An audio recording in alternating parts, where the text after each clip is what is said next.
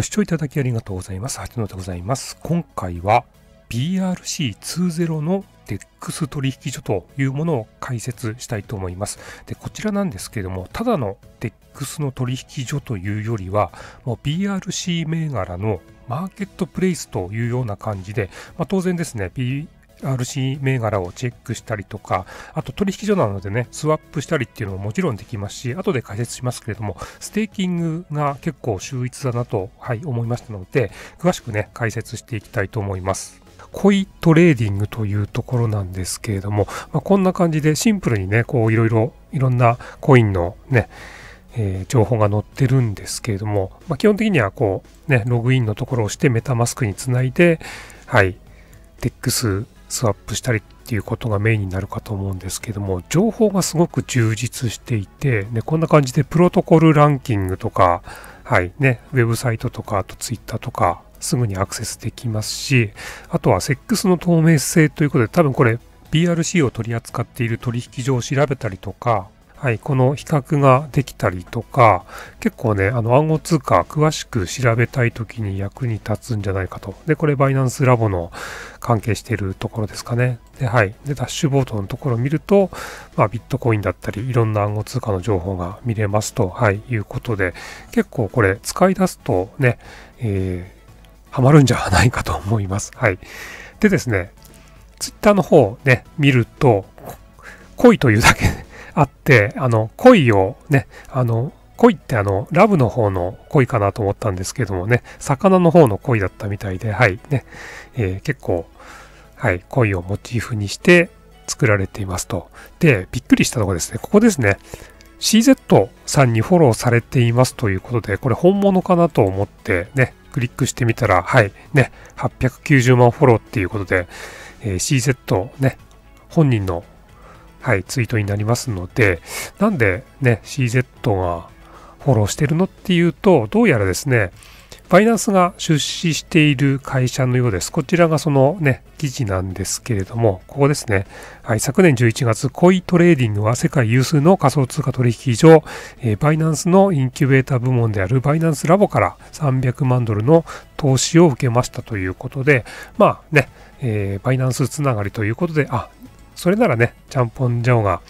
フォローしてるのもうなずけるかなと思います。ということでね、BRC に特化した取引所ということなんですけども、じゃあなんでね、BRC なのかということでまとめましたのでね、簡単に解説しますと。BRC20PNB ですね。簡単に言うと、ビットコインチェーンで使える特別なトークンということで、まあ、ビットコインね、もともとお金を送ったり受け取ったりするためだけに作られたものだったのに対して、まあ、BRC20 が出てきたことで、ビットコインを使ってもっともっといろんなことができるようになりましたと。で例えばですね、ゲームの中で特別なアイテムを買ったりとか、あとデジタルアートを集めたりするのにも、まあ、ビットコインが使えるようになりましたと。で、ERC20、イーサリアムベースですね、確立された技術が、まあ、ビットコイン基軸でも使えるにようになったっていうことで、まあね、BRC、B ですね。ビットコインの B がついたっていう感じなんですかね。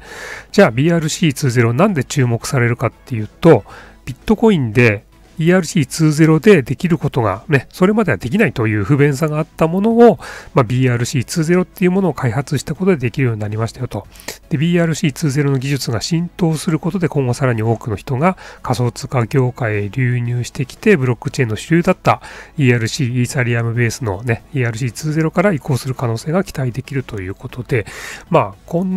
年からですかね、なんかガンガン BRC20 盛り上げていくみたいなね、流れになっているようですと。はい、そしてこちらがね、コイトレーディング、まあ、日本語にするとコイ貿易ってなってますけど、ウィキページになりますかね、コイへようこそということで、コイトレーディングの概要暗号通貨の旅を強化するということで、まあ、詳しい情報ね、書いてありますので、よろしければね、参照していただければと思います。で、大きなポイント、ここに書いてってある3つかなと思います。まず BRC トレーディングということで、BRC20 に特化したね、取引所ということで、まあ基本的には DEX なのでスワップしたりということなんですけれども、一番私これね、いいなと思ったのはこの BTC の再ステーキングというところですね。はい。で、読んでいただければわかるかと思うんですけども、まあ一言で言うと、まあ普通ステーキングっていうと、まあ定期預金みたいな感じでね、3ヶ月、6ヶ月、1ヶ月とか預けて利息をもらうっていう感じなんですけれども、再ステーキングというだけあって、ね、え、利息をさらにね、え、またステーキングかけるっていう複利運用を自動でやってくれるということで、これ結構使えるんじゃないかなと、はい、私は思っていますと。はい。あとね、BRC404 ということで、これちょっとね、わかりにくいんですけれども、あの、簡単に言うと、ね、例えば、えー、NFT ね、超高額な値段がついてしまった NFT ですね。1億円とかで値段がついた NFT って、まあ価格はそれ以上下がらないんですけれども、かといって1億円だと誰もね、やっぱり買えなくなるということで、じゃあその1億円の NFT を例えば10分割しましたと。で、10分割のうちの、まあね、10分の1をね、だったら1000万円で買えるのでっていう感じで、まあ、そういう感じで NFT を分割できるような、まあ、そういう技術だそうです。はい。詳しくはね、こちらの方読んでいただければと思いますので、はい。あとはね、コイトケノミクスということで、まあ、オリジナルトークンですね。はい、独自トークンのコイトークンというものも、はい、出してるそうなので、興味ある方はね、こちらのウェブサイトを見て、はい、必要であれば購入していただくのもいいんじゃないかと思います。はい、ということでね、今回のコイトレーディングまとめてみたいと思いますけども、まあ、基本的にはね、DEXBRC20 の、えー、取引所ですね。ただですね、BRC20 最大のマーケットプレイスを目指しているというね、感じでね、かなり使えるんじゃないかと思います。で当然 DEX などでスワップ機能ありますけれども、まあ、特徴はね、リーステーキングということで、まあ、自動で複リーステーキングしてくれると、これ結構ね、便利かなと思います。あとはね、PRC404 対応っていうのと、やっぱりね、バイナンスラボが出資してるということで、バイナンスの系列会社がバックについてるということで、まあ、かなりこの辺はね、安心なのかなと思いますので、もしね、興味がある方、動画の概要欄に URL とか、あとは今日ね、お見せしたえー、ウィキページとかの URL 載せてますので、そちらからね、アクセスしてみてください。